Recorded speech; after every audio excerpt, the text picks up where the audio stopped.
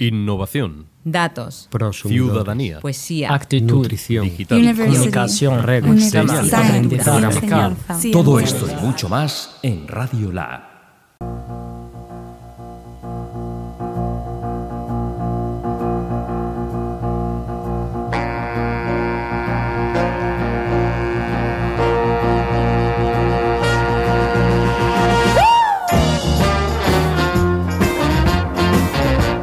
Buenas tardes.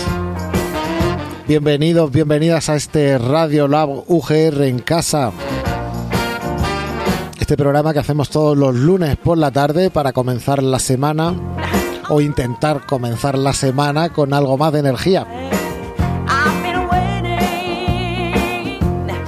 Este programa que hacemos desde nuestras casas eh, para hablar de todo lo que está ocurriendo a lo largo de estos días eh, en la Universidad de Granada y también en esa plataforma que iniciamos hace unas semanas que se llama ugrrencasa.lavingranada.org y en la que la gente trata de eh, bueno pues de sus experiencias, sus ideas, sus iniciativas, plasmarlas en esa plataforma para que puedan llegar a todo el que quiera. Hoy tenemos muchas entrevistas preparadas. Vamos a hablar con Miguel Buigas, que está realizando, eh, está recopilando material audiovisual para hacer un documental con investigadores de la Universidad de Granada, con eh, estudiantes eh, que nos van a presentar algunas de las iniciativas que se están realizando, como Insulae, que se presentó la semana pasada.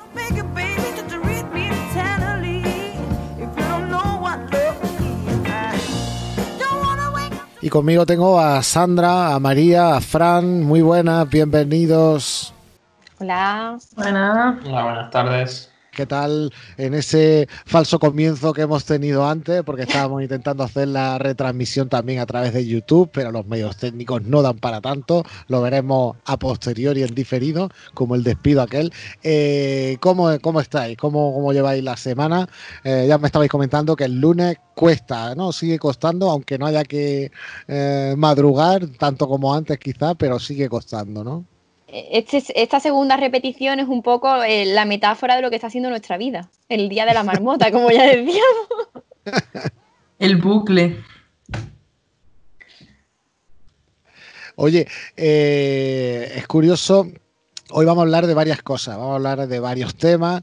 Uno de ellos, por ejemplo, es un bot que han hecho aquí en la Universidad de Granada, eh, pero fijaos, hay que ver cómo, eh, no sé si a vosotros os han llegado la cantidad de bulos, yo estoy estudiando un poco, pero en Maldita llevan ya a contabilizar unos 400 y pico bulos.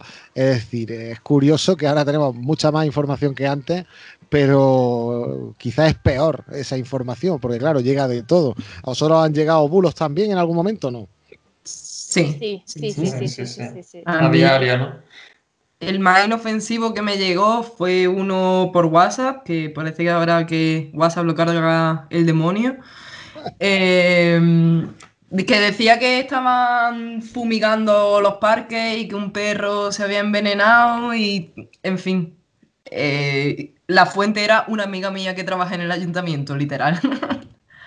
Ah, así, ¿no? A saber ni en qué ayuntamiento ni qué amiga. Sí, no, ponía, es verdad, lo dice una amiga que trabaja en el ayuntamiento. A mí me van llegando bulos que luego van desmintiendo. O sea, lo veo en WhatsApp, me mandan una parrafada. ¿Cuál fue el último que me enviaron? Que según el tipo de sangre somos inmunes o no al virus. Y luego al rato esa misma persona me puso, ah, no, no, creo que es mentira. O sea, que ellos mismos solo van lanzando, van desmintiendo. Sí, es que muchas veces, y sobre todo por WhatsApp y en grupos, pues eso de familia y amigos, mm, le llega cualquier información y sin, ni siquiera abrir el enlace ya la están compartiendo. Entonces, como que se pasan cosas muy, muy extrañas. Sí, no se escuchaba hasta hace un momentito, ya, ya sí se escucha. Eh, nada, no importa. Si esto luego, como siempre, lo arreglamos todo. Lo arreglamos. El Photoshop para estas cosas, maravilloso, no hay problema.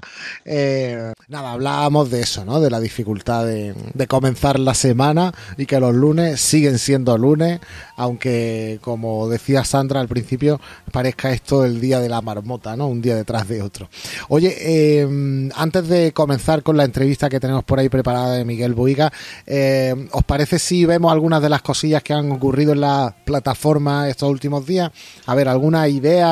O iniciativa o experiencia que se han colgado en estos, en estos últimos días. Venga, ¿quién rompe el hielo por aquí? ¿Comienzas tú, María, con alguna idea? Pues vale, sí, eh, una además, esto un poquito de trampa porque viene, viene de la casa. El...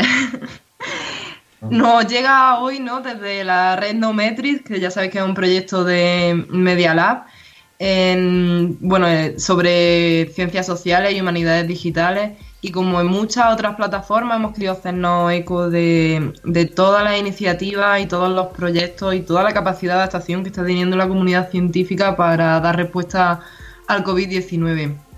Em, no quiero dar una perspectiva negativa, ¿no? Pero creo que al final, por la naturaleza técnico-sanitaria de esta crisis, eh, los proyectos que surgen desde las ciencias sociales o las humanidades digitales pueden, eh, bueno, quedar un poco relegados, ¿no? Y entonces estamos animando a la comunidad científica a que se dé de alta, a que suba sus proyectos eh, relacionados con el COVID-19 o que nos lo hagan llegar a info.nometrics.org y para poder eso recopilarlos y darle, darle difusión en nuestras redes y, analizar un poco qué se está haciendo desde este ámbito. Muy interesante, yo creo que muy necesario. ¿Tenemos ya iniciativa entonces localizada? ¿La gente se va apuntando? ¿Cómo funciona? Eh, bueno, eh, lo, pueden darse de alta como usuario y subir sus, propios, sus propios proyectos, como, como de costumbre. Como venía funcionando, ¿no? La red Nometri. Exactamente, simplemente mm. ahora pues estamos intentando centrar el foco en esos proyectos que dan respuesta al COVID o que surgen frente al COVID. O también, como digo, nos las pueden hacer llegar a info.nometrics.org y nosotros pues lo subiremos, lo subiremos. Muy bien, eh, pues nada, quien quiera más información al respecto, que nos siga por redes, eh, boletín de correos, seguro que le llegará toda la info, la, la página de Nometric y por supuesto esa plataforma donde está ahí colgada eh, esa autopromoción que acabamos de hacer de ese proyecto. Bueno, autopromoción a medias, ¿no? Porque lo que queremos precisamente es dar visibilidad y además recordad que la red Nometric nace con una proyección iberoamericana Así que esto no es solo de la UGR, esto está abierto a todo el mundo. Es su bebé, Neumetris es su bebé. Neumetris es su bebé. Se nota, se nota. Oye, ¿qué más tenemos por ahí, Sandra? A ver. Pues mira, tenemos una idea eh, que ha tenido mucho éxito en redes sociales, la hemos compartido estos días, y es una escape room ambientada en la saga de eh, Harry Potter. Precisamente hoy en las eh, noticias estaban hablando del auge que están teniendo ahora las escape room virtuales. Sí, se trata de una iniciativa eh, hecha o realizada por una bibliotecaria de la Biblioteca Pública de Pensilvania y tras ser cancelada la Skate Room, que tenían pensado que fuese mm, hecha presencialmente, eh, pues han decidido adaptarla eh, de forma online para que todo el mundo desde sus casas puedan disfrutarla. Dura unos 15 minutos y está traducida al español, o sea, en UGR en casa está toda la descripción, tenéis el link en español y de hecho algunos integrantes de este grupo ya han quedado para hacerla, Javi, te informamos. Creo, que, en Twitter vi yo alguna conversación de, de alguien que, que, es una chica y no es Sandra y está por aquí.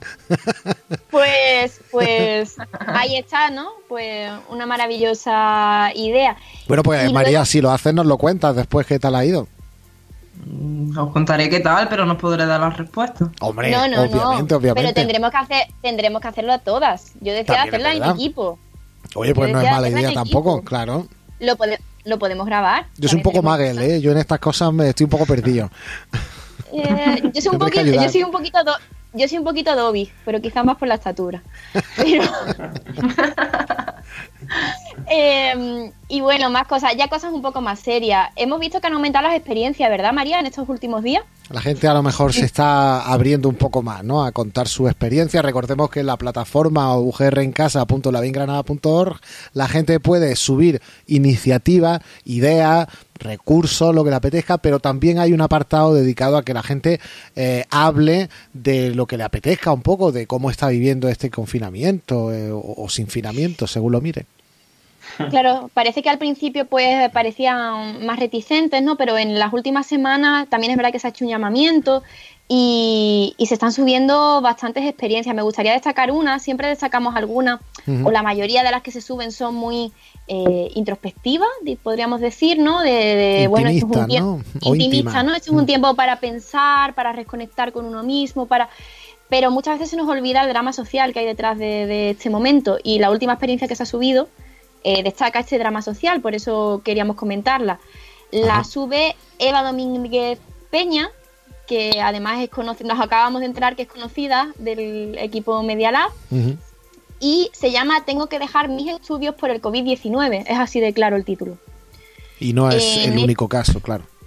Y no es el único caso. En, esta, en este relato, eh, Eva nos dice o nos cuenta eh, que estaba cursando unos estudios de, de arte, de danza, de, en, una, en Málaga, en, en una academia, mientras trabajaba de camarera, mientras que compatibilizaba su vida con mucho esfuerzo, con mucho sacrificio, con muchos trabajos Claro. y que debido al cierre de la hostelería, pues se ha visto eh, abocada a abandonar su- sus estudios mm, sin poder terminar de pagar además los pagos que le debe a la academia, sin poder y tener una alternativa de futuro académica ni económica y eh, sin poder ni tener ahora mismo ningún tipo de recurso o beca del Estado que pues le alivie este momento tan, tan crudo.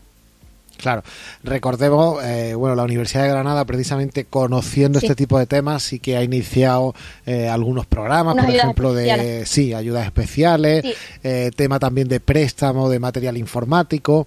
Bueno, porque esta crisis nos está recordando las brechas que existen. Dime, Sandra. De hecho, hoy me gustaría destacarlo. Hoy acababa, Javi, el plazo de la UGR para Para solicitar pedir los portátiles, ¿no? No, no, no, acaba el 23. el 23. Ah, pues entonces.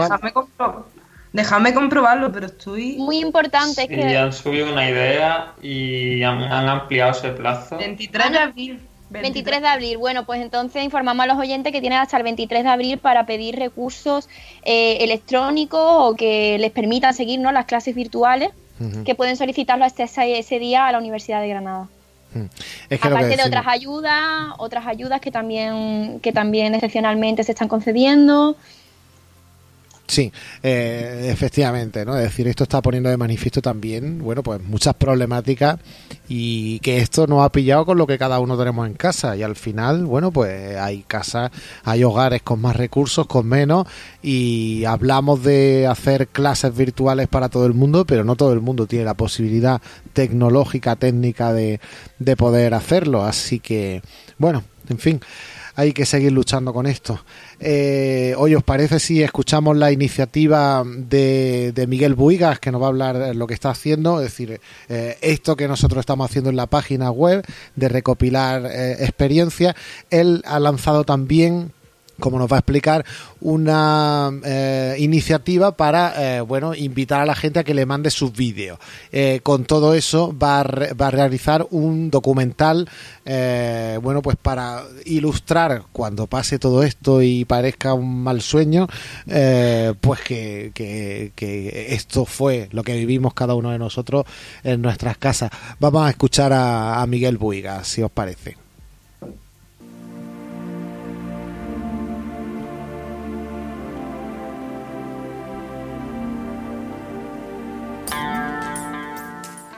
Pues tenemos ahora mismo con nosotros a Miguel Buigas, que es comunicador audiovisual, ayudante de realización, editor, un montón de cosas, pero que lo hemos traído aquí a nuestro programa de Radio La UGR porque está eh, comenzando a recabar eh, vídeos y, y pequeños testimonios para montar un documental eh, con un nombre, yo creo que esperanzador, ¿no? Confín. O sea, porque estamos en un confinamiento, pero digo yo que en algún momento esto llegará a un fin. O sea, que esto lo vamos a hacer con el objetivo de que, de que acabe en algún momento, ¿no? ¿Y, tú qué es lo que quieres hacer entonces, Miguel? ¿Quieres documentar un poco todo este proceso? Eh, sí, muy buena. Eh, sí, de eso se trata, ¿no? Eh, esta iniciativa nace hace un par de semanas, con hablando, bueno, lo estoy haciendo con mis dos hermanos, que también son del gremio. Y, entonces em, lo, que queríamos era eso, era saber qué, qué estaba pensando la gente. Es decir, y no solamente quedarnos en bueno lo que podamos ver en los medios habituales, sino entrar en las casas un poco y saber qué es lo que pasa por la mente de la gente. Eh, habrá gente que, o sea, la expectativa un poco también es conocer que, que, habrá gente que se lo esté tomando medianamente bien, hay gente que esté fatal, hay gente que tenga días buenos, días malos, entonces un poco hacer ese retrato y que no se quede en el olvido, ¿no? Un poco dejarlo, dejar constancia de que esto está pasando, porque al final es probable que cuando pase un tiempo esto, bueno... Volveremos a las andadas, ¿no? A como estábamos antes. Sí, un poco por eso también nace la idea, ¿no? Por la yo por lo menos tengo esa sensación de que sí, que todo es mm. muy aparentemente traumático, pero que mm, no las tengo yo todas conmigo en que esto vaya a ser tan punto de inflexión en, en la vida de la gente. O sea, quizás sí a otro, en, otros términos, económicos sobre todo, pero no creo yo que, el, que estemos todavía, quizás si dura más, sí, pero que estemos todavía en un punto en el que la gente realmente se pare y diga, esto va a cambiar. Un cambio de valores, ¿no? Quizá. Eh, y entonces, eh, con esa idea, os lanzáis, ¿no? Lanzáis esta convocatoria, digamos, a que todo el que quiera os mande los vídeos y, lo que hacía es como plantear una especie de preguntas, ¿no? O sea, que la gente, si no sabe muy bien qué decir, que, tenga como una especie de guion para hablar, ¿no? ¿Y, qué es lo que eh, proponéis ahí? ¿Qué, decía eh, la gente? ¿De qué puede hablar? Efectivamente, nosotros, eh, si acceden a, lo, a Facebook, por ejemplo, nosotros tenemos ahí una serie de preguntas, no son más de 15, muy sencillitas, y bastante abierta en las que lo que intentamos es que la gente hable de su experiencia. Es una especie de guía para que ellos, mm, bueno, habrá muchas personas que no, no, sepan qué decir o no sepan cómo expresarse, entonces si esto les ayuda, pues mejor. Al principio hay una, mm, una introducción breve en la que queremos que nos cuenten, pues bueno, quiénes son, ponerle, ponerle nombre y voz a, la experiencia que nos van a contar. Y, después, pues, un poco un recorrido de, cómo está siendo esto, ¿no? Primero a nivel, o sea, le preguntamos, por ejemplo, eh, cosas como si te esperabas que esto fuera a llegar aquí cuando estalló en China, que nos cogía como muy lejos, ¿no? Eh, y, y, después, eh, poquito a poco nos vamos metiendo en, en, en, en las personas y, saber pues eh, si están aprendiendo algo, si creen que están aprendiendo algo, si eh, que intenten pensar en algún acontecimiento que no esté relacionado con el coronavirus en su día a día. o, es complicado, ¿no? Eh, sí, por ejemplo, quizá una de, una de las respuestas ¿no? Mm, que, a mí me, me parece interesante es eh, a lo mejor que esa pregunta sirva para darte cuenta que a lo mejor no estás pensando en nada que no sea eso. Que no sea eso, sí, sí. claro, al final todo, ahora mismo a mí me pasa, ¿no? Te pones a leer un poquito y al cabo te distraes, ¿no? Te, te escapa un rato, pero cuando vuelve, ¿no? Te, te viene la oleada de realidad y dices, ostras, que no me acordaba ya de, de esta situación de ciencia ficción en la que estamos viviendo ahora mismo. Y, es un poco eso. Y después también hay una especie como de una guía muy básica de qué es lo que necesitamos. Es decir, sí, técnica, ¿no? Eh, eso estaba viendo, ¿no? Que hay como una especie de recomendaciones técnicas que siempre las decimos pero nunca las hacemos. Por ejemplo, no grabar así, grabar así. Por, favor, sí, no grabar nunca en vertical. Lo agradeceré siempre. Eh, eh, sí, básicamente es un plano fijo, en, que un plano medio abierto que, te y hablarle a cámara. Es muy sencillo. Un trípode, ¿no? O algo que se pueda claro, el móvil así puesto. Que no sea un selfie eh, Que no es un vídeo para Instagram, por favor. Efectivamente. Que tenga un poquito más de, eh, de seriedad, por decirlo de alguna manera, el plano, aunque lo que cuentes después, si quieres contarnos algo gracioso, también es bienvenido, que esa es otra. Tampoco queremos que esto sea un drama, en el sentido de. Es verdad que es algo que se plantea algo. Habrá momento para todo, ¿no? Habrá drama, Claro, comedia, imagino. Sí, sí. Y eso, y después nada, tenemos un correo abierto que en el que estamos recibiendo los testimonios. Y también pedimos, por aclararlo también un poco, eh, qué es lo que ves desde casa, qué ves desde tu ventana, o qué ves desde tu patio de vecinos, o, eh, y ahí se plantea pues también, eso supongo que será un apoyo después en montaje para secuencias de cómo, de, de eso, de, Sí, para contextualizar un poco a cada persona, ¿no? Para ver el contexto de cada uno, desde dónde habla también, imagino, ¿no? Sí, eso es, efectivamente. Ujú.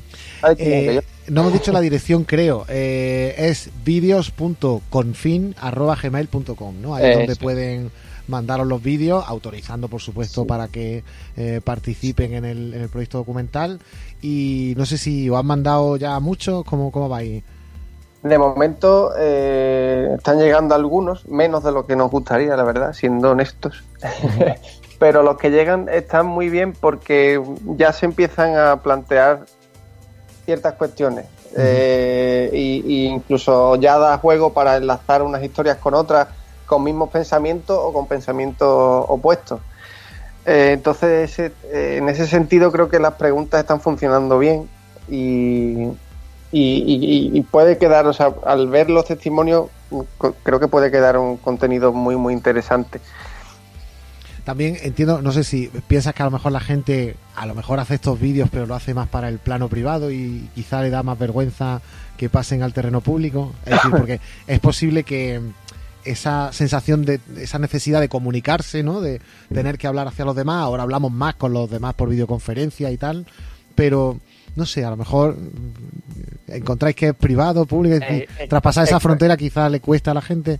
Hay mucho, hay mucho, hay muchas, una respuesta muy común es eh, eh, qué bonito el proyecto, lo paso. Yo no, ¿no? Otro. es como, ten, conozco a alguien que te puede decir algo muy interesante, ¿no? Eh, Entonces es como, eh, bueno, yo intento que la gente, mm, o sea, recalcar mucho que primero es participar y después compartirlo, ¿no? Pero la gente, mucha de ella va directamente a compartir.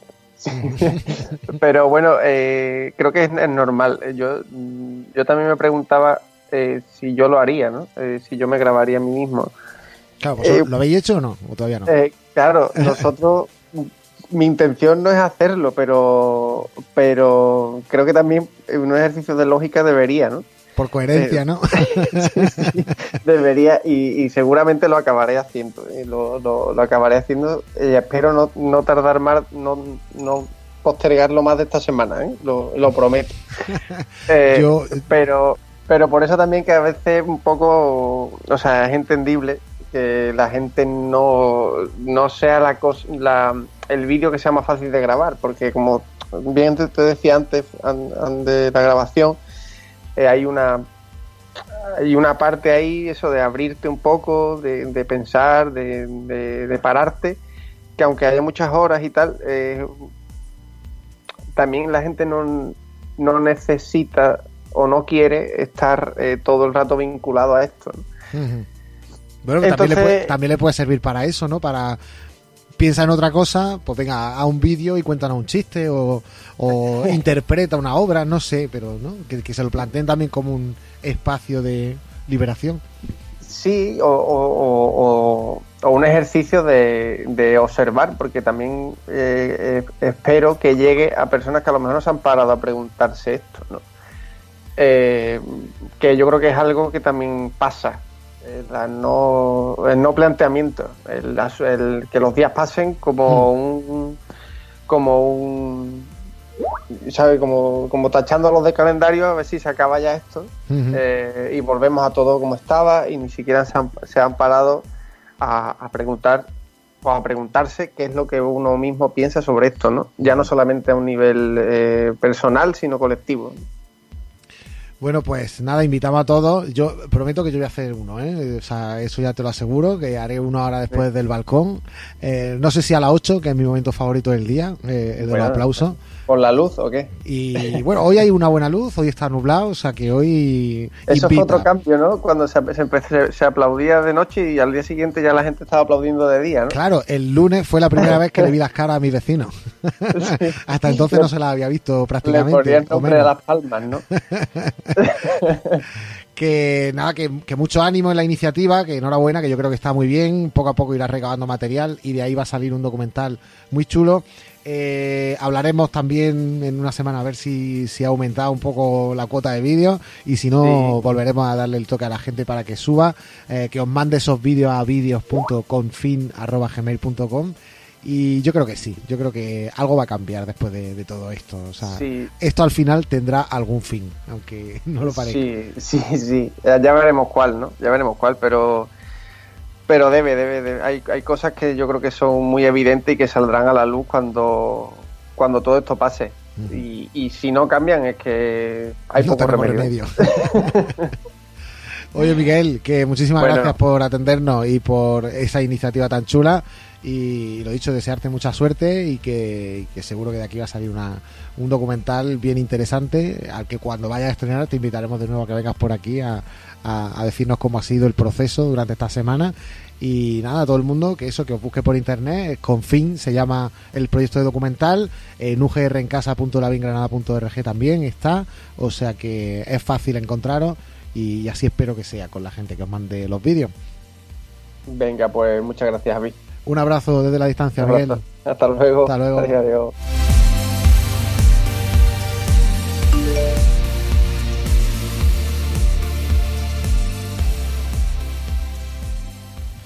Bueno, ¿qué os parece esta iniciativa? Eh, tenemos ya por ahí a Zoraida. ¿Zoraida nos escucha? Ahora, Zoraida, ¿me escuchas bien? Sí, Vale, como decía, Zoraida Calleja es investigadora y profesora de la Universidad de Granada y junto con su compañero David Griol, eh, bueno, pues recientemente han colaborado con el gobierno para desarrollar un bot. Eh, bueno, pero no un bot al uso, sino un asistente conversacional, porque Zoraida, como nos va a decir ahora, es experta en, en el tema de, de- de- A ver, ¿cómo decirlo? Explícalo tú, Zoraida. De bots conversacionales, ¿cómo, cómo podríamos decir esto? sí, sistemas conversacionales o sistemas de diálogo, que son sistemas que, que pueden sostener una conversación con un usuario. Y entonces el que habéis desarrollado concretamente, ¿para qué sirve? Es decir, es un bot que, que habla de qué. Es un bot que da información acerca del, del COVID y del estado de alarma. Eh, y entonces la idea es que se le puedan hacer preguntas y que te dé respuestas eh, a través de un chat. Entonces la idea es que mm, en lugar de tener que leerte todos los documentos oficiales, pues puedas eh, obtener la información de una forma más sencilla, pudiendo expresar las preguntas con tus propias palabras. Ajá, y sencillamente tú le preguntas, eh, aparte, o sea, cualquier tema relacionado con el con la COVID, ¿no? Entiendo. O sea, ¿cuáles son los síntomas y cosas así por el ¿Cuáles estilo? Los síntomas, el origen de la enfermedad, eh, cuáles son los grupos vulnerables, eh, to- toda la información de ese tipo médica, pues luego también pues eh, pautas específicas para, para grupos vulnerables concretos, eh, pues, como pacientes inmunodeprimidos o con cáncer o, y luego todas las medidas de protección que hay que tomar, medidas higiénicas. em, y Fake news también, ¿no? ¿Cómo? Tema de fake news, creo que ¿También, también. ¿También desmiente bulo o a tanto no llegamos? Sí, sí, sí, También. tenemos incorporados los más comunes eh, y conforme van surgiendo los vamos metiendo Y luego pues también tenemos pues es la información que da acerca de los bulos que, que aporta la Organización Mundial de la Salud, porque también tienen una, un apartado en su página web que dedicado específicamente a eso. Ellos lo llaman mitos, pero Sí, pero es una forma fina de decir mentiras, como un piano. Sí, sí, sí.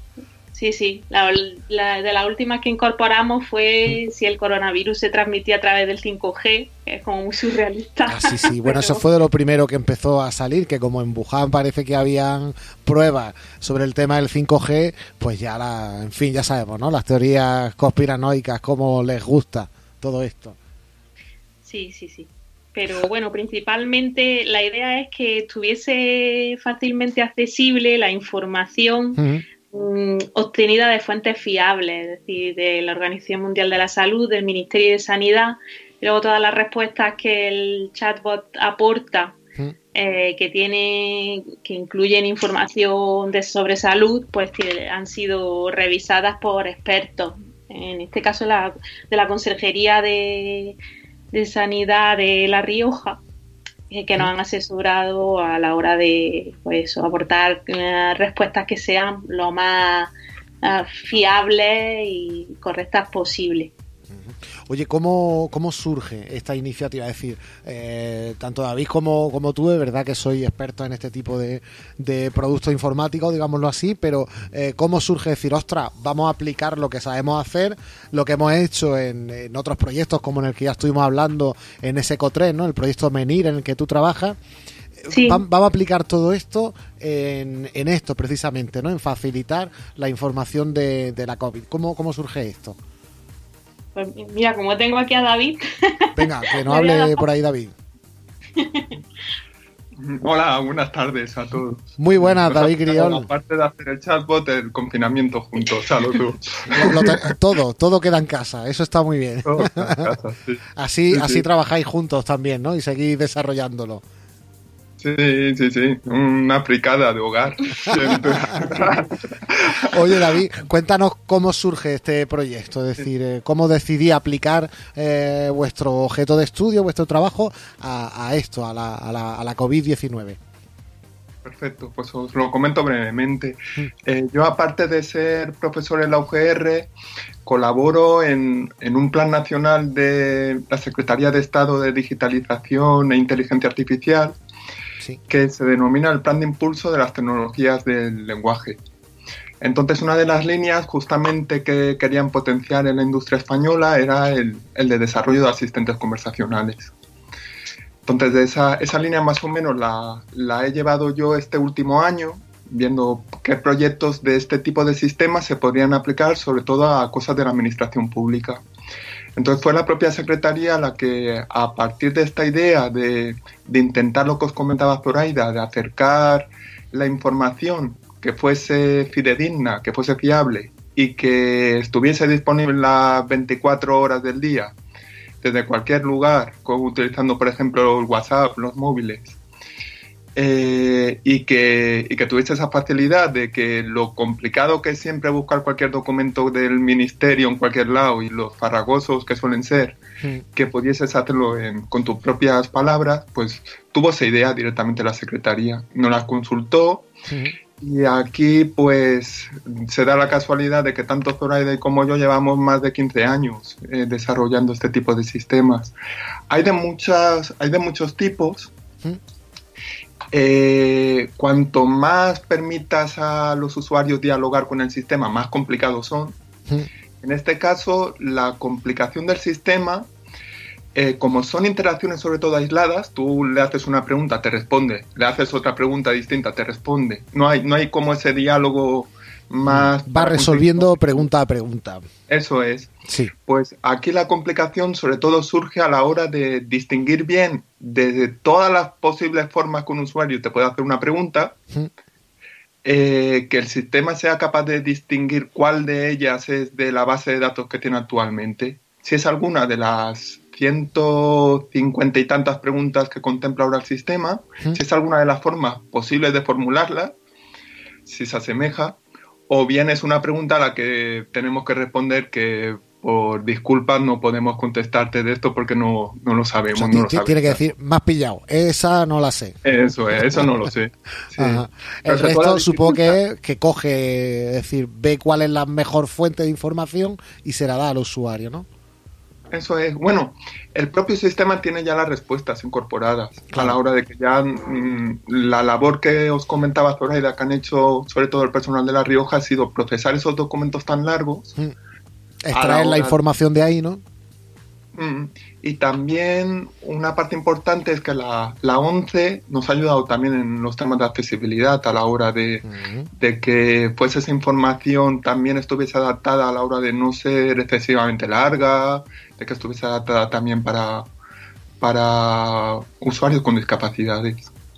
Genial. Oye, ¿y en qué plataforma está funcionando? Porque entiendo que esto está hecho, pues, para aplicarlo en alguna aplicación de mensajería, como WhatsApp, Telegram o algo similar, ¿no? ¿Está disponible en alguna de estas plataformas?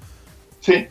El primer paso fue hizo el ministerio directamente un proyecto piloto en La Rioja, de ahí el, contacto con, Sanidad allí para la revisión de las preguntas. Y está colgado en dos páginas web de, esa región, en Rioja Salud y la web del gobierno de La Rioja.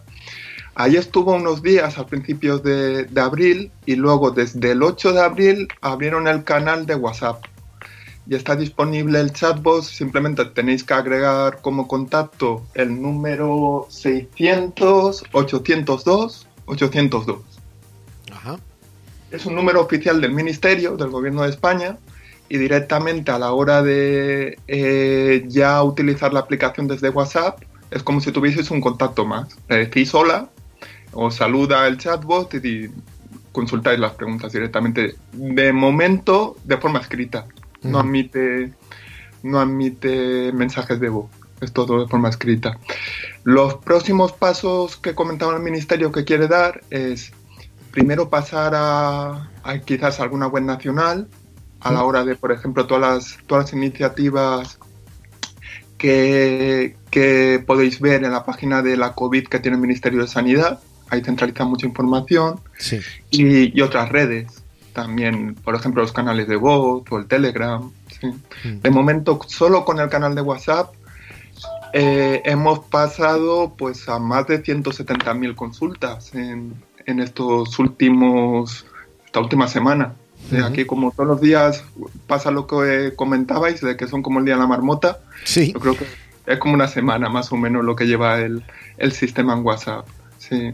Y con esa semana, directamente lo que fueron 2.000 consultas en La Rioja han pasado a, a 170.000 hoy. Madre mía, exponencial. Eh, claro, eh, es verdad que aunque la voz todavía no la reconoce, lo digo porque estoy pensando, por ejemplo, en gente como, como mi suegra que lo que hace es utilizar el reconocimiento de voz para que se lo pase a texto. O sea, que sería una forma también de hablarle directamente a, a ese bot conversacional así sí se podría hacer. Es decir, siempre que lo que le llegue sea un, texto. texto, se podría usar el reconocedor que hay en el teclado del móvil. Claro. Luego, por, eso, personas mayores podrían utilizarlo, sí. Dime, David. Canales como el Google Home, el Alexa, sí, algo parecido. Qué bien. Oye, eh, ¿se le puede preguntar al bot que cuándo va a acabar el confinamiento? Esa pregunta es complicada, ¿no? Sí, y claro, el bot es el, es el bot oficial, entonces toda la información que da es oficial. Entonces ahora ¿Cuándo, mismo ¿cuándo va a salir mi niño? Yo qué sé, espérate. La, la fecha de abril y claro, eh, se ha propuesto el, el, que todavía se renueve dos semanas más, pero hasta que no se apruebe en el Congreso de los Diputados, pues no se puede decir con total seguridad 100%. Estamos hablando de fuentes oficiales, por tanto, dependemos de lo que digan ellas, obviamente. Oye, y luego esto, vosotros, todo lo que, es decir, todas esas consultas, vosotros podéis eh, hacer algo con ellas, quiero decir, podéis investigar qué es lo que, cuáles son las, por ejemplo, principales preocupaciones de la gente a la hora de, de esto, de, enfrentarse a la COVID? Pues las conversaciones que, que, el sistema guarda solo mm. el texto de las conversaciones. De hecho, hay usuarios que han pedido que escriben regístrame y hay que decirle que no, que no, no el chat no recaba. Todo el tema de la privacidad y la nomicidad, sí solo, solo guarda los textos de las conversaciones para poder ver si va bien y si hay preguntas que no se están respondiendo. Entonces ahí sí que podemos ver eh, pues, cuáles son las preguntas más que se formulan con más frecuencia, las preguntas que no se están entendiendo bien o, para las que no hay respuesta. Entonces sí que vemos, por ejemplo, cómo cambia el, tipo de preguntas según según la actualidad, podemos decir, ¿no? Entonces, como al principio casi todas las preguntas eran, pues, sobre los síntomas del, del virus y luego cambiaron a cuestiones más del estado de alarma, si puedo salir y a dónde puedo ir y cosas así. Luego, eh, y luego han ido, pues eso, van variando, pues, eh, pues según, según la actualidad, ¿no? según cuál sea el tema de, de actualidad. Por ejemplo, ahora lo de la salida de los niños fue un tema de máxima. La pregunta estrella. La pregunta estrella. pero se pregunta mucho sobre los síntomas y qué hacer cuando se tienen síntomas. Otra cosa que hace el sistema es dar los números de ayuda telefónica. Eh, todas las comunidades autónomas tienen un número de ayuda para hacer preguntas sobre el COVID, que de hecho, pues una de, de las razones por las que surgió la idea del chatbot es que estos, estos números a los que tú puedes llamar si tienes síntomas para, pues, para que te hagan un seguimiento y todo eso, pues estaban viéndose saturados por, por preguntas que son legítimas también de, bueno, ¿y qué es COVID y qué síntomas da? Entonces, el que esas preguntas también se puedan contestar, además de por esos números, por este otro canal, pues hace que, bueno, pues que se vea más... Se puedan descongestionar las mm. líneas y dejarlas para los casos de verdadera emergencia. Claro, en los que haga falta una interacción, un diálogo humano. Pero si es solo para resolver dudas, entiendo que un bot puede hacer las mismas funcionalidades. Oye, pues está muy bien. Dime. Sí, que está 24 horas. claro, este no descansa. Oye, que, muy bien. No, sé si también habéis puesto preguntas como, eh, como las que le podemos hacer a los asistentes virtuales, como estoy aburrido, dime qué hacer, o, a tanto no llegamos, solo, solo información, ¿no? Era solo por si, si se puede. Oye, pues a lo mejor. Oficial, pues tiene que ser más serio. no cuentas chistes, cosas que, que normalmente pondríamos. Casi, yo iba a intentar colarla. mira. hay quien se lo pide. Pero bueno. Yo iba a decir, oye, si alguien le pregunta al bot, eh, no sé qué hacer, eh, sugerirle pues que nos escuche o que, o que se vaya a la plataforma de UGR en casa. Un huevo de Pascua, ¿no? Una pregunta claro, un easter egg ahí metido. Si hay, por ejemplo, sobre cómo entretener a los niños y ah, cosas así. si te encuentras, estoy preocupado o estoy deprimido o me siento triste, también da información sobre salud mental. Hay sí que da ciertas respuestas ahí. Pues, eh, entonces, bastante completo. Sí. Oye, David Griolbar, Zoraida Callejas Carrión, muchísimas gracias por estar ahí. Eh, estaremos muy atentos a, todo lo que da de sí ese bot y según vaya evolucionando.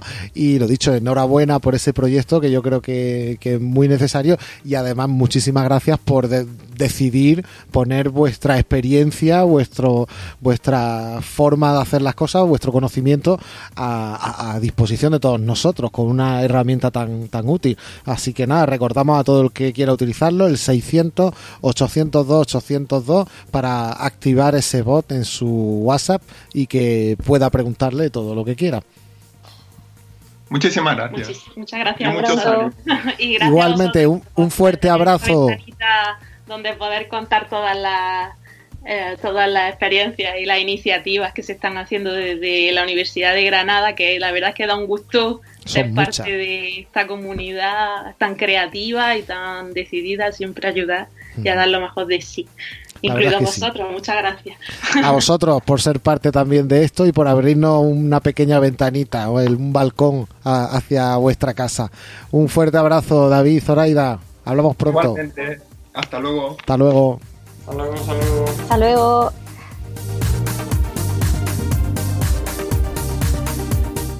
¿Qué os parece? ¿Vaya a, hablar, ¿Vaya a hablar con el bot este? ¿Le vaya a preguntar cosas? A ver si yo hace un escape. ¿eh? ¿Eh? Yo como ya si cerrar mi casa, he hablado hasta con el aloe que me regaló José Miguel. O sea, yo ya lo del bot.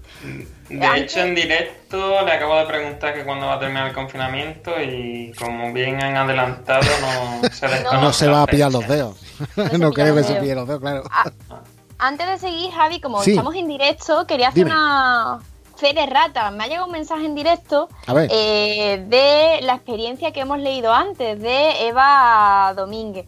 Ah. Y quería destacar que ella estaba sacando su carrera trabajando en una orquesta de cara al público y que la suspensión de todo Claro. el tema artístico pues que, que le hace vivir más en la, en la incertidumbre y que quiere destacar no pues esta también eh, este doble drama no La- las personas que se dedican al mundo artístico de la danza del cante del entretenimiento Sí. y que no saben además cuándo porque no se sabe además probablemente sean los últimos y las últimas Claro. en reanudar su actividad Sí, Además, ahí hay un verdadero problema. Dime. Habéis escuchado hablar del parón, el apagón Cultural. cultural, me parece Sí. que se Sí. llamó, ¿no? 48 horas sin conciertos en directo como protesta a que el Ministerio de Cultura y Deporte ha destinado una partida presupuestaria al deporte. deporte, pero no a la cultura. y, y sondeo cuántos de aquí nos hemos enganchado a un concierto por la noche estos días a un no sé a un concierto, a un festival, Culpable. a un lo que sea, porque yo me he enganchado a todo lo que había, a todo. Yo el último, el del sábado pasado, lo que pasa es que estuve viendo al principio y luego al día siguiente el resumen, donde actuaron los Rolling Stones, eh, los Killers, Lady Gaga, etcétera. O sea que iniciativa Yo- hay un montón. Y la semana pasada estuvimos hablando del Festival de Melilla, o sea que todas las Sí, semanas hay me- algo. Tú me enviaste de Ismael Serrano, que es mi cantante favorito, que estuve de eso, y yo he pasado, he estado desde concierto de Estopa hasta concierto de Alex Ubago, que María me ha dicho, sal de ahí, sal de ahí. Sal de ese bucle. Hasta he estado en algún concierto de compañeros, creo. También, también están conciertos de compañeros que cantan fatal, por cierto. No, queremos mirar, ¿no? Hay un chico por aquí que... Bueno, hay un chico que está mejorando con el ukelele, pero es cuestión de tiempo. Oye, ¿se, se va a animar el chico a tocarnos algo al final del programa o no? Hay una cuando, cua- cuando acabe el confinamiento, Eso, es para poder salir corriendo, no te va a escapar. Mira, si, si, tú, si, tú la, si tú tocas la canción que yo sé, yo la canto. Vale. Anda, ahí queda Claro. eso. Recoge el guante.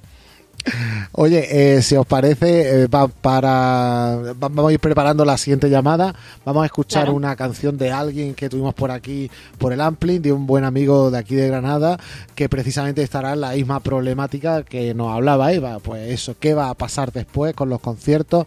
¿Qué va a pasar después con el panorama cultural? Porque está claro que volveremos a la calle, pero no está tan claro que podamos hacer pues reuniones, eh, en fin, eh, concentraciones, etcétera, como son los conciertos, como, como son tantas y tantas actividades culturales. Vamos a escuchar un freight train de Mississippi Martínez.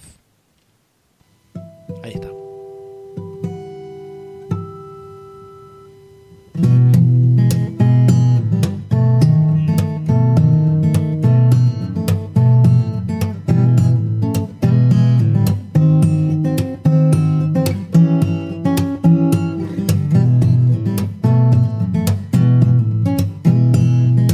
Hey, you get it all train. Ah, hoo hoo.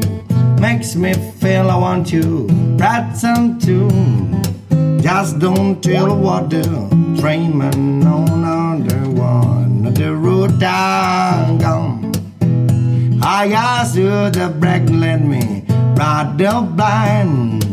Say that don't run now, train not mine. Just don't one of train man on out there one. The road down gone. Freight train, freight train, gone around the bend. Freight train, freight train, go again. One of these days, uh, that train around going back to my home, hometown. Freight train, freight train, run so fast. Freight train, freight train, run so fast. Just don't tell I wanna claim unknown. I do want on the road down. Come here we go.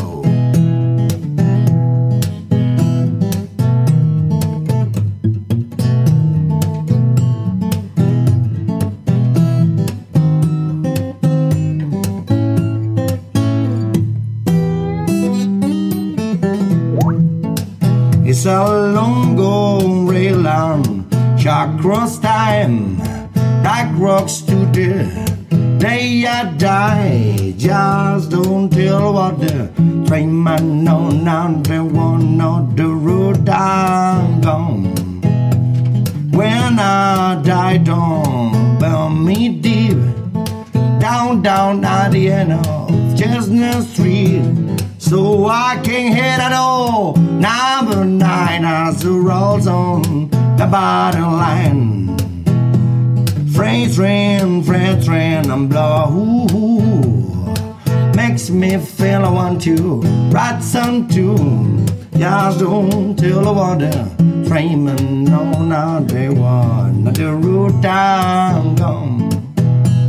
Just don't tell the water, uh, framing on our day one the road I'm gone. Just don't tell nobody, frame unknown, and they won't know the road I'm gone. Just don't tell nobody, uh, frame unknown, and they won't know the road I'm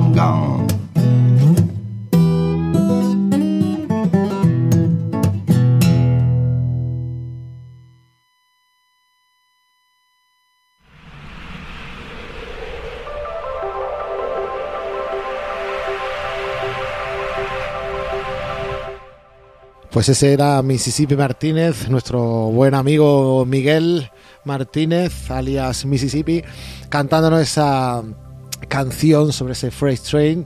Eh, ya tenemos por ahí, creo, al otro lado de la ventana de la conexión a internet a Vera. Muy buenas, Vera. Sí, te escuchamos. Eh, espérate, espérate, te escuchamos, nosotros te escuchamos ahora. Es que, hija, hoy estamos teniendo un día de duendes tecnológicos horroroso. Ahora sí se te escucha, ahora sí nos escuchan nuestros, nuestros oyentes. ¿Qué tal, Vera? Muy buenas tardes. Pues bien, aquí sufriendo el confinamiento, ¿no? Como todas las demás. Aquí estamos, intentando resistir. Eh, hay que ver qué aborrecida tengo la canción. Eh, a ver, Vera, Vera Ferrón es, eh, a ver, ¿cómo lo explico? Es una iniciativa la que habéis puesto en marcha junto con el buen amigo Alberto Aragón, que también lo hemos tenido por estos micros. Eh, un, a ver cómo lo explicamos para que no lo entiendan. Un registro colaborativo de iniciativas ejemplares. Se parece un poco a UGR en casa, a la iniciativa que hemos montado, pero vamos a explicar qué es esto de Héroes 19. Cuéntanos, Vera. Bueno, pues somos un grupo de profesores del Departamento de Organización de Empresas 2 de, la Universidad de Granada que al comienzo de la Semana Santa prácticamente, pues, pues, estamos capitaneados, efectivamente, como bien dice Javi, por, por Alberto Aragón Correa, por Nuria Hurtado Torres y por Eulogio Cordón. Y al principio de Semana Santa, pues bueno, comenzamos a tener unos cuantos movimientos eh, con ayuda de, Antonio Correa, el jefe de plataformas de la Universidad de Granada, que fue el que nos ayudó, digamos, a montar un poco la infraestructura informática del blog. La idea inicial era, bueno, era doble, tenía un doble objetivo, ¿no?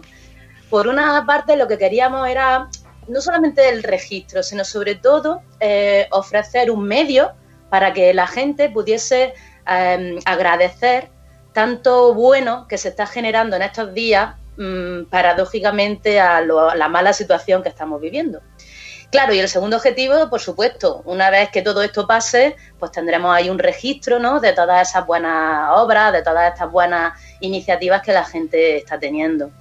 O sea, la idea es esos aplausos que hacemos a las 8 que empezaron agradeciendo a todo el personal sanitario, pero yo creo que ya también es un poco de autoaplauso, ¿no? Y de, y de agradecer, pues en parte también que estamos vivos, pero bueno, agradecer eso, pero en lugar de con aplausos también hacerlo a través del blog, ¿no? ¿Y cómo lo hace la gente? Es decir, entra al blog y, y escribe en él.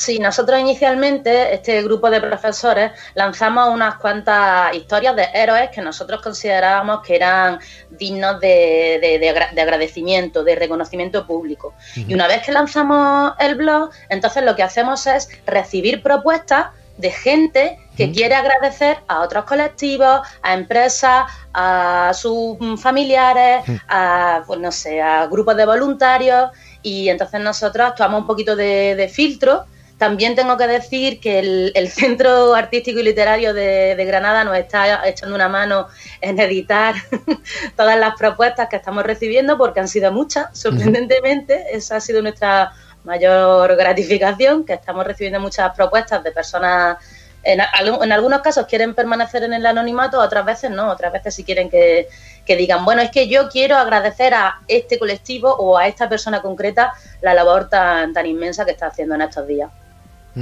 Y, y- y claro, ¿esto cuando se abrió? ¿Lle- ¿Al principio de cuando empezó la crisis de la COVID o...? No, no, que va. Esto te estoy hablando de aproximadamente llevaremos como 8 o 9 días aproximadamente. Y en esos ocho o nueve De días ya habéis tenido... Un poquito más de una semana. Y en esta semana ya habéis tenido mucha gente queriendo dar las gracias a través del blog. Exacto, el- es que prácticamente no llevábamos, ¿qué te digo yo? Ni 10 horas con, con el blog ya lanzado, publicado, cuando de golpe y porrazo tuvimos un aluvión ¿no? de, propuestas y fue todo, mm, mm, la verdad es que nos sobrecogió porque decíamos, verás tú, como este ritmo se mantenga o incluso aumente, no vamos a dar abasto. Pero bueno, fue, de hecho ahora muchas de las propuestas que tenemos prácticamente podríamos decir que casi más que la, más, más de la mitad de las entradas que hacemos son de propuestas que nos hace la gente, que nos hace llegar a través del propio blog. Eso quiero, quiero decirlo. Una vez que entras al, al blog, blog.ugr.es héroes 19, básicamente si pones héroes 19 en los buscadores, eh, te aparece directamente el blog, pues tienes como una especie de, de enlace, un apartado en el que se, la gente puede eh, realizar las propuestas. ¿Y qué habéis encontrado? Es decir, entiendo que lo más eh, intuitivo de primera es dar las gracias, bueno, pues eso, a los que están en primera línea, ¿no? A, toda, a todo el tema sanitario, pero ¿qué más os habéis encontrado? ¿A quién más quiere darle las gracias la gente? Pues mira, el primer, la primera propuesta que tuvimos fue, es que es- muy, es muy tierno, porque fue un, un trabajador de un centro de salud, creo que era del centro de salud de Albolote, que quería darle las gracias a sus padres, que son dos abueletes que estaban cosiendo gorros sanitarios, gorros de protección al personal sanitario del centro de salud. Entonces nos pareció tan legítimo y tan digno de agradecimiento que le hicimos una entrada, ¿no? Le, le editamos una entrada a estos dos abuelos. Pero a partir de eso, yo por ejemplo me encargué de editar la, mm, la entrada de la Cruz Verde de la farmacia. Eh, para darle difusión a- al blog, pues los, los profesores que nos encargamos de esto, digamos que en nuestros propios grupos de WhatsApp, nuestros familiares, amigos, vecinos y demás, pues lanzamos, oye chicos, mira esto es lo que estamos haciendo, a ver si os gusta, qué os parece. Y a mí, por ejemplo, automáticamente, pues uno de mis vecinos me dijo, yo quiero darle las gracias a los farmacéuticos que mi sector. Bueno, la entrada de la, de la Cruz Verde nunca se apaga, creo que es la más vista, con 260 y tantos likes. Y, así es como han ido surgiendo estas propuestas. Una de las últimas también que nos han hecho llegar es la de, mm, la de mm, los vigilantes de la Universidad de Granada o también las de, la de ayuda a quienes ya estaban enfermos, la Asociación Española contra el Cáncer apoyando doblemente. Son cosas muy, muy, muy bonitas. Luego las más tiernas también, no solamente la de los abuelillos, pues las entradas que le tenemos dedicadas a los niños, a los niños y a las niñas que se están portando súper bien en, esta, en estas situaciones que no son para nada fáciles. Y claro, también nosotros no queremos perder nuestra, digamos, de formación profesional. Somos profesores de organización de empresas 2. Entonces también queremos hacerle mención especial a aquellas empresas que están actuando de verdad. Las que están actuando no simbólicamente para aprovechar o oportunísticamente para aprovechar las circunstancias, sino aquellas empresas que están actuando de verdad. Oye, pues me parece fantástico. Entonces, eh, yo, por ejemplo, ¿no? Quiero agradecerle algo a alguien y lo que hago es que busco ese blog, blogs.ugr.es barra eros19 y, y ahí escribo directamente o, o llega a vosotros el mensaje. ¿Cómo es el funcionamiento de la plataforma? Porque decís Sí, que os están ayudando a editar, sí. Sí, en la parte derecha de- del blog, al principio de todo, eh, hay un proponer iniciativa, un botón Ajá. de proponer iniciativa. Y entonces las personas que cliquen ahí pues tendrán que rellenar, rellenar un pequeño formulario con un poco contando la iniciativa y demás. Una vez que nosotros hagamos ese pequeño filtro, ese primer filtro, O sea, ellos proponen un poco. con, con la persona, efectivamente, y ya empezamos a desarrollar un poquito más la idea. Tampoco es cuestión de escribir entradas excesivamente largas, es Contar de- historias, ¿no? Claro, la recoger la historia bien expresada, resaltar lo, lo, lo, lo- lo que supone de héroe. Nosotros le llamamos héroes, Mm. evidentemente héroes y heroínas, por supuesto, pero bueno, eh, utilizamos el- la palabra héroe porque consideramos que son aquellas personas, colectivos, grupos, que están haciendo algo más, algo extra de lo que a priori se les exige por su puesto de trabajo o por su forma de vida. Por eso es por lo que son héroes para y por nosotros. eso queréis ponerlo en valor, ¿no? Entiendo. Exacto. Oye, Vera. ¿qué? Perdón. Nada, que me parece una iniciativa muy importante. Estaba, bueno, le comentaba el otro día a los compañeros que tuvo un problema, me, me falló internet y hubo un técnico que estuvo en mi casa en menos de hora y media. Y bueno, yo alabé un poco esa labor y me dijo, sí, pero a mí nadie me aplaude. Dice, yo trabajo para que todos los demás podáis trabajar. Claro, yo trabajo desde casa estos días. Claro. Y, y pensando en la iniciativa de Vera, ¿no? Digo, pues qué mejor manera quizás, ¿no? De, de subir un pequeño agradecimiento, ¿no? A esas personas que Pues sí, tienes mucha razón. El otro, ayer estaba yo aplaudiendo a, a las policías, ¿no? Que las tengo aquí cerquita de casa y demás, y pasaron unos cuantos repartidores de estos de, de comida a domicilio, y yo, ¡bravo, bravo! Claro que sí, también bravo para También, los que están haciendo que muchas veces eh, no cambiemos nuestra rutina de de vez en cuando a pedir eso, que es una pizza, que es un indio, que si no sé qué, y gracias a ellos son los que nos lo están trayendo. Entonces, por supuesto que sí, gracias a los sanitarios, gracias a, a todos los cuerpos, ¿no? De estos de seguridad y demás. Pero luego también esas pequeñas cosas son dignas de mención, claro que sí. Por cierto, quiero dar la enhorabuena a las iniciativas previas que las he estado escuchando y me parecen maravillosas. O sea, en Nada, por supuesto que sí. Y también daros las gracias a vosotros por hacernos este hueco en, en, en Radio Lab, ¿vale? Hombre, encantado de, de- de mostrar esta iniciativa. Yo, por ejemplo, aquí estáis, estáis diciendo, ¿no? Aquí por aquí pasaron los bomberos ayer y, obviamente, pues aunque ya no eran las 8, todos salimos allá a aplaudirle. Claro, claro. O sea, es un agradecimiento continuo. De hecho, Javi, eh, no pasaron por tu casa a las 8 porque a las 8 estaban enfrente de la mía, delante de un hospital, delante de un hospital que para- se pararon en mitad de la carretera y, y salieron a aplaudirle a los sanitarios con la canción de Resistiré puesta tu pastilla. La tengo ya. Luego ya el paseo de vuelta sería el que te pilló a ti, ¿no? Sí. Claro, luego ya vinieron por aquí y ya pasaron, pero efectivamente yo creo que estas cosas sacan también lo peor de nosotros, pero lo mejor de nosotros. Y una de las cosas que tenemos eh, como seres humanos es que precisamente somos empáticos y agradecemos y, mostramos cuando, cuando nos ocurre pues ese agradecimiento a los demás. Y yo creo que una iniciativa como la que han puesto en marcha Vera Ferrón y sus compañeros, pues hay que aplaudirla también. Así que eh, como parte de esa plataforma, gracias por eh, estar adelante una iniciativa como Héroes 19. Muchas gracias y, enhorabuena también por la iniciativa. Eh, nada, cuando tengáis historias interesantes, os animo también a que, a que os vengáis por aquí, a esta ventana virtual y que, y que nos lo contéis también, si os apetece. Claro que sí, cuando, cuando nos digáis, estamos recibiendo cosas de verdad muy, muy, muy, muy bonitas. Y bueno, mm, ya os digo, eh, ahora mismo tenemos 7.000 visitantes únicos y quiero decir, personas que individualmente han visitado Mm. la página Mm. y más de 17.000 visitas, cientos de likes y de comentarios en la entrada. No sé, la acogida creemos que ha sido muy buena porque tenemos que decir que esto es a nivel local, es decir, somos un grupo de, de profesores. Yo simplemente represento a, a mis compañeros, ¿eh? al grupo de, de profesores que estamos llevando a cabo esto. Entonces, para ser una iniciativa así que nació un poco de, eh, bueno, estamos en Semana Santa, estamos confinados, ¿qué se ocurre? ¿Qué podemos hacer? Pues la verdad es que creo que está ten- teniendo bastante impacto social. Así que, pues muchas gracias por vuestros agradecimientos, pero que nosotros básicamente lo que hacemos es recoger el sentir de, de la gente y bueno, y eso, todas las buenas labores, todas las buenas acciones que están llevando a cabo ahora. Bueno, pero eso también hay que agradecerlo, así que lo dicho.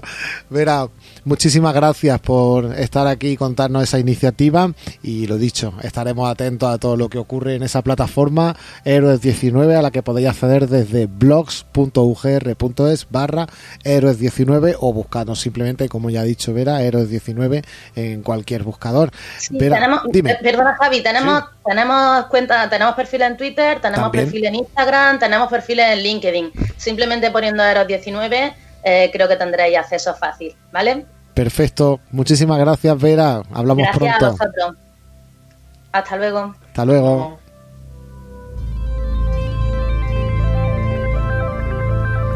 Bueno, dicho, iniciativa eh, preciosa, yo creo también que sirven para poner en valor todo lo que estamos haciendo como sociedad eh, a nivel local, a nivel global, al que sea. Eh, estamos casi acabando, tenemos una entrevista por ahí, pero no quiero dejarme en el tintero a Sandra, que tenemos preparada esa sección histórica, que la verdad es que ahí me gusta mucho esta parte, ¿no? Porque tenemos que recapitular, ¿no? Y tenemos que posicionar y contextualizar que donde estamos ahora eh, no es algo nuevo. Lo que sí es nuevo es las herramientas que tenemos para luchar contra algo así, pero que esto lleva sucediendo. Eh, en el país creo que estaba yo leyendo el otro día una entrevista, no me acuerdo a quién era, pero era un biólogo que iba a sacar un, un libro ahora que precisamente lo que decía que bueno, al final el- el- la Tierra es un sistema en el que cuando hay un desequilibrio pues tiene que ajustarlo por algún sitio. Y este aquí que nos está tocando a los seres humanos. No Sí, sé si de lo que iba a hablar hoy también va por ahí. Hoy nos toca la peste negra, Javi. Madre Nada mía, la, peste bubónica. Nada más y nada menos. Eh, ya en el pasado programa hablamos de la mal llamada gripe española, ya desmentimos por qué de esa gripe no es española y hoy Mm. vamos a hablar de, de la peste negra. Eh, esta peste surge a mediados del siglo XIV, entre 1346 y 47, eh, y fue la mayor epidemia de peste de la historia de Europa, tan solo comparable con la que asoló el continente en tiempos del emperador Justiniano, que esa la veremos también en otro episodio, otro magazine de UGR en casa, la tenemos pendiente. Bueno, desde este siglo XIV la peste negra se convirtió en inseparable compañera de viaje de la población europea hasta el último brote. El último brote se produjo a finales del siglo XVIII, o sea que estamos hablando O sea, de que no casi fue algo que cuatro, desapareciera en un momento y ya está. cuatro siglos de pandemia. Fíjate, y nos quejamos nosotros por cuatro semanas. hay que relativizar como todo, Claro. ¿no? Esto es, no es como dice tu, tu abuela, siempre hay alguien peor que... No te quejes que siempre hay alguien peor que tú, ¿no? Pues esto es, es un poco lo mismo. Eh, sobre el origen de esta enfermedad eh, circulaba mm, una multitud de mitos en la Edad Media. Eh, se hablaba de Igual la que ahora. medicina- igual que ahora, se hablaba de la medicina.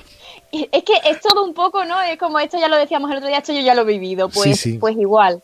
Se hablaba de la medicina griega como posible causante, se hablaba de los residuos eh, orgánicos y su descomposición, que al respirarlos pues podía contagiar. Y Eh, algunos se- remedios los mismos que ahora. Salía a la calle con un crucifijo y a ver si se funciona. hablaba de lo mismo. Se llegó a hablar durante bastante tiempo que eh, el origen era astrológico, que coincidía con eh, una posición de planetas, con unos eclipses. Todo esto me suena. esto El otro día vi un bulo que era por, por los años 20 o no sé qué, el 2020, Pues- 1520. Mentira, esto es 1348. pues se decía que eh, a determinados eclipses o el paso de cometa eh, liberaban gases tóxicos. Incluso se habló de volcanes como causantes de, de esta pandemia. Locura. Total, todo, todo muy A ver, actual. En su defensa, A en su defensa hay que decir que por entonces no se sabría mucho de los microorganismos. Sí. Efectivamente, por ejemplo, sea, en el siglo XIX el cólera todavía se pensaba que se transmitía por el aire hasta que llegó un médico, John Snow, y demostró que era por el agua. Pero claro, Javi, que nos vas a hacer spoiler uy, perdón, para otro día. ¿qué he dicho? que el cólera será otro episodio. Ay, bueno, próximo episodio. eh. Próximo. Eh, bueno, esta enfermedad se manifestaba en las ingles, las axilas o el cuello con la inflamación de algunos de los nódulos del sistema linfático. Estos eran los además- bubones, ¿no? De la peste bubónica. Se acompañaba de suporaciones y de fiebres altas. Estos son los llamados, lo que tú decías, bubones. Y eh, pues asquerosito todo. producían escalofríos, delirio, eh, bueno, todo un conjunto de síntomas. Únicamente en el siglo XIX se supera la idea del origen sobrenatural de la peste. No sé si nosotros tendremos que esperar un siglo para terminar con el tema de la fake news. Esperemos que no. Bueno, Eso, yo creo que sí. eso es con natural. Va, va a seguir habiendo y todavía más. Eh, fue precisamente el temor a, a un, a un contagio a escala planetaria cuando llega a Asia, cuando da un fuerte impulso a la investigación científica. Y fue cuando dos bacteriólogos Kitasano y Yersin de forma independiente, pero Kitasano, casi. has dicho, Kitasano. Kitasano. Sí, sí, sí, Kita- Eran matasanos, ¿no? Kitasano, Kitasano Madre, qué y nombre. Yersin, de forma independiente pero casi paralela, descubren que el origen de la peste era una bacteria. Esta bacteria se llama Yersinia pestis, que afectaba a las ratas negras y a otros roedores y que se transmitía a través de parásitos que vivían en estos animales, como por ejemplo las pulgas. Y claro, era, las ratas estaban en, en continuo contacto pues, con el ganado, con en las granjas, entonces era muy fácil que se transmitiera. La peste es, pues, eh, en definitiva, zoonosis, una enfermedad que pasa de los animales a los seres humanos, como, Como ahora. como, hemos, como ahora. Eh, ya decimos que el contagio era fácil porque las ratas y los humanos estaban presentes en graneros, en los molinos de las casas, entonces en los barcos era muy fácil de contagiar. El índice de mortalidad da hasta miedo leerlo. Fue de un 60% en el conjunto de Europa. 60%.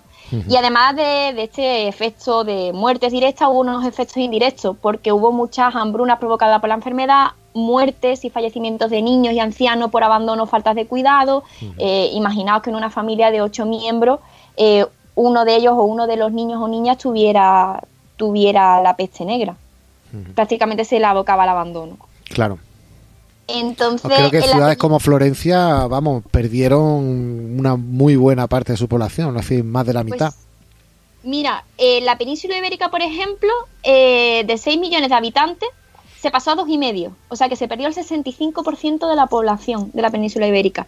Y en la Toscana, que no tengo, no sé si tenía yo los datos de Florencia. Sí, en Florencia.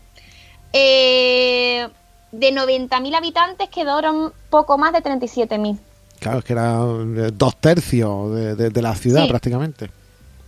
80 millones de europeos quedaron reducidos en tan solo 30. O sea, estamos hablando de, del 60 al 70%, el 80% de la población. Eh, los brotes posteriores de la epidemia cortaron de raíz la recuperación demográfica de Europa, que no se consolidó hasta mediados del siglo XV. O sea, un, como un siglo y medio donde la demografía pues no paraba de, de descender. Y algunos autores eh, hablan de eh, o sostienen que la mortandad, esta elevada mortandad provocada por la peste, pudo haber acelerado el arranque del Renacimiento y el inicio de la moderna- modernización en Europa. O sea, hablan de cómo afectó al estilo arquitectónico, a los estilos históricos, a los estilos pictóricos y que produjo o- o el arranque de la modernidad en, en Europa. Bueno, quién sabe si la COVID también va a significar aquí el arranque de una nueva era o una nueva forma de pensar las cosas.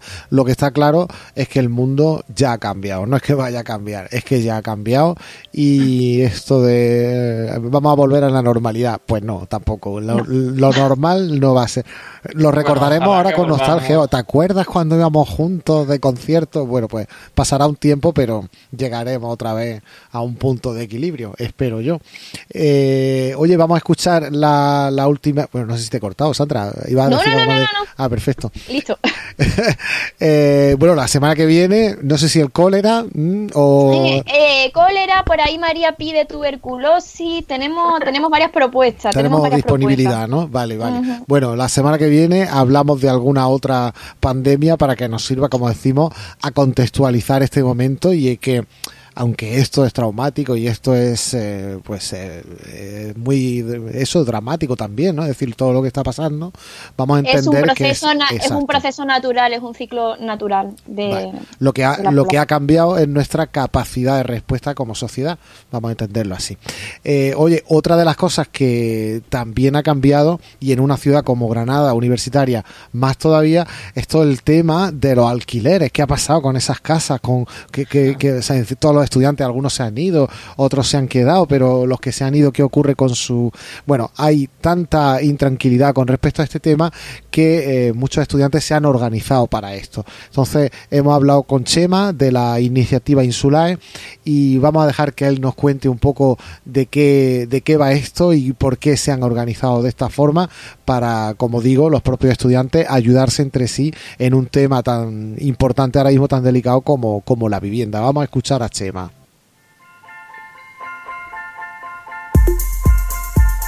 Pues tenemos con nosotros a Chema, un estudiante de la Universidad de Granada, que hace poquito, junto con otros compañeros, crearon Insulae, una plataforma que trata de ayudar a otros estudiantes para gestionar todo el tema de los alquileres de piso, pues tras el cese de, la, de las clases presenciales, claro. Eh, Chema, muy buenas, ¿qué tal?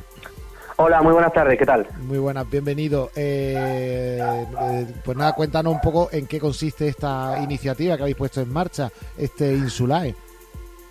No, Insulae, como bien has dicho, nace eh, a consecuencia de la suspensión de las clases presenciales. muchísimos de los estudiantes de, fuera que estudian en Granada se encuentran con el problema de que ellos siguen teniendo el contrato de alquiler hasta julio de, un, de una vivienda que ya no van a usar porque al suspenderse las clases presenciales no tienen necesidad de, de estar en Granada. Entonces eran muchas dudas, muchos miedos los que había por, por parte de los estudiantes, qué hago con el piso, qué va a pasar con mis cosas si decido desistir del contrato. Y bueno, de la noche a la mañana eh, nos reunimos un grupo de, compañeros, algunos ya graduados de la UGR, y decidimos dar un paso adelante, crear una cuenta de Instagram y ofrecer un servicio de, asesoría con su alquiler a los distintos estudiantes. Esto en cuestión de horas se desborda y una cosa que nosotros, por principalmente por proximidad, habíamos pensado para los estudiantes de la Universidad de Granada, pues se nos va de las manos y empiezan a llegar a contactarnos estudiantes de, toda España. Y claro, eh, entiendo que la inseguridad, ¿no? La incertidumbre es grande. Es decir, porque ¿qué ocurre con estos, con estos pisos? ¿Qué, qué es lo que vosotros estáis encontrando? A ver, la principal, la principal demanda que nos llega es la, eh, acerca de la posibilidad de, desistir del contrato. Esto es posible si el contrato es de, vivienda habitual.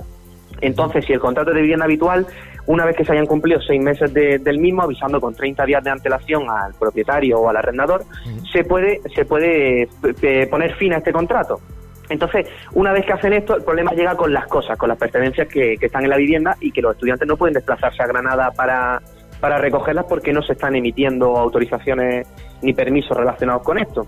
¿Qué es lo que le estamos diciendo nosotros a los estudiantes? Que una vez que comunican el desistimiento del contrato al arrendador, fijen en el mismo mensaje, en el mismo fax, Em, una fecha en la que, una fecha límite para recoger sus pertenencias una vez finaliza el estado de alarma. Porque ya te digo que muchísimos estudiantes están con mucho miedo porque una vez que desisten del contrato, en su mayoría son contratos que están firmados con, con inmobiliaria, la inmobiliaria están amenazando a los alumnos con sacar las cosas del piso una vez que se finaliza el contrato, lo cual no es legal porque en estado de alarma nadie puede nadie puede ir a tu casa a sacar tus cosas porque es evidente que no puedes desplazarte a recogerlas. Aparte de que no sé no, no, qué, pasa con esos pisos, no no creo que sean ahora mismo no, creo que haya un mercado, ¿no? O que esté en movimiento. Bueno, según algunas mobiliarias ya tienen alquileres para mayo. Ajá.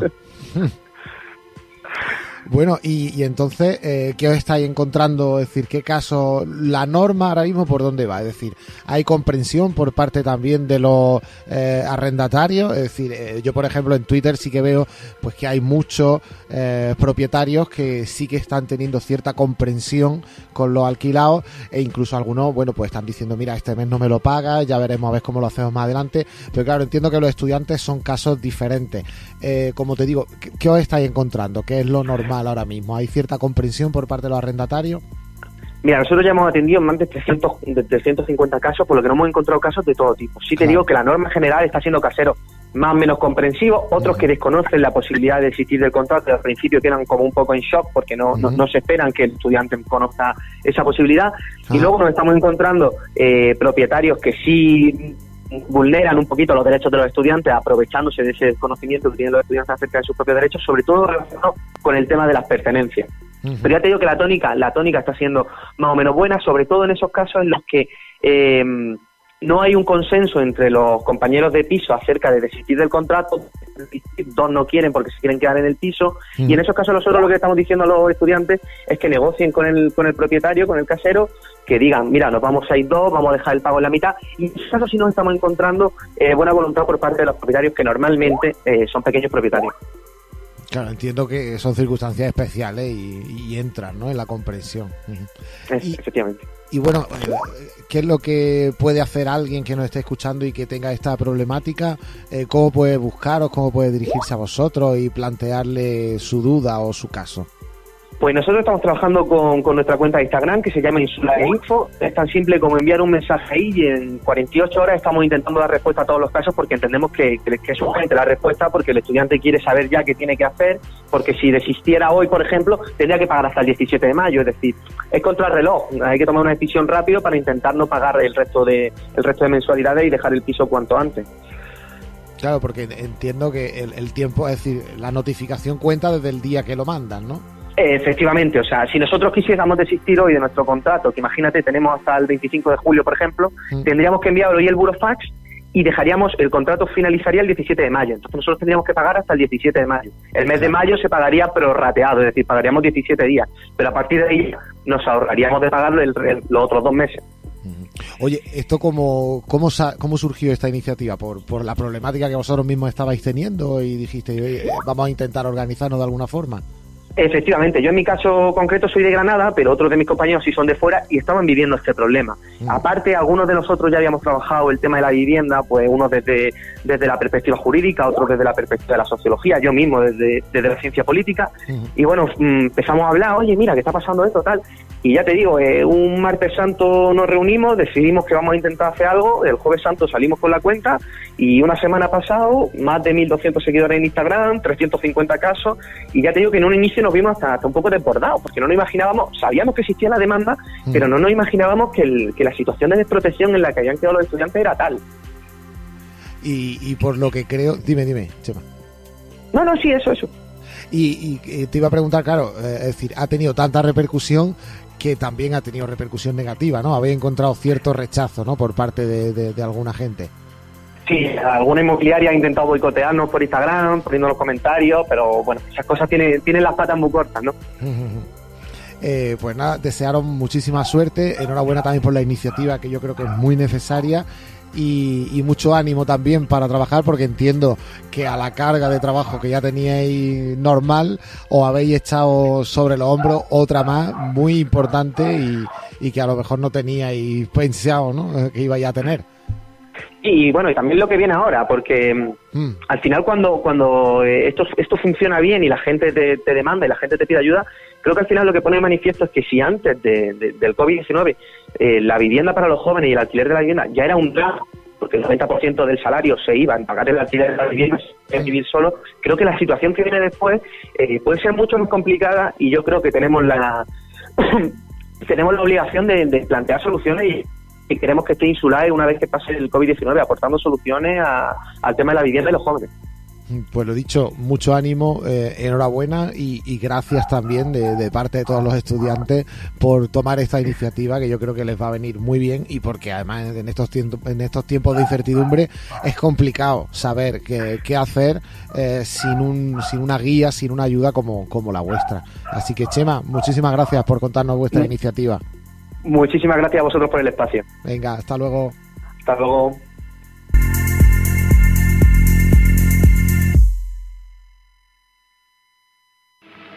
¿Estás ya lista? Sí. Despídete, Toto. Estoy dispuesta ya. Cierra bien los ojos. Junta los chapines uno contra otro tres veces y repite para ti. Se está mejor en casa que en ningún sitio. Se está mejor en casa que en ningún sitio. Se está mejor en casa que en ningún sitio. Le repetimos todo. Está. Se mejor en mejor en casa que en casa ningún sitio. Aquí está estamos en en UGR en casa. Eh, vamos a continuar haciendo este eh, programa en Radiolab UGR en directo desde nuestras casas. Os recordamos que podéis eh, seguirnos e interactuar con nosotros en Twitter, en Instagram. Eh, aquí también nos podéis escuchar en Spreaker, en medialab.ugr.es barra Radiolab. También nos podéis escuchar. Podéis usar el hashtag, nosotros lo utilizamos mucho, almohadilla UGR en casa y también tenemos un canal de Telegram en el que vamos colgando también muchas de las novedades. Os recordamos que el próximo miércoles eh, vamos a hacer esos encuentros UGR en casa eh, con profesores e investigadores de la Universidad de Granada y el viernes por la mañana también a las nueve y media haremos otro encuentro y permaneced atentos porque a lo mejor hay novedades esta semana y hacemos algún eh, programa especial o encuentro especial que estamos preparando y sobre el que tendréis noticias muy próximamente. Sandra, María, Fran, muchísimas gracias por estar también ahí. Bueno, hasta la semana que viene. Hasta la semana que viene. Hasta la próxima. Hasta la próxima. Nos vemos en el camino de baldosas amarillas, Javi. Muy bien, Sandra. Vamos a seguir recorriendo ese camino de baldosas amarillas hasta que lleguemos al Palacio Esmeralda, que en nuestro caso será salir a la calle. Chicos, chicas, gracias por estar ahí. Nos vemos la semana que viene. Chao. Chao.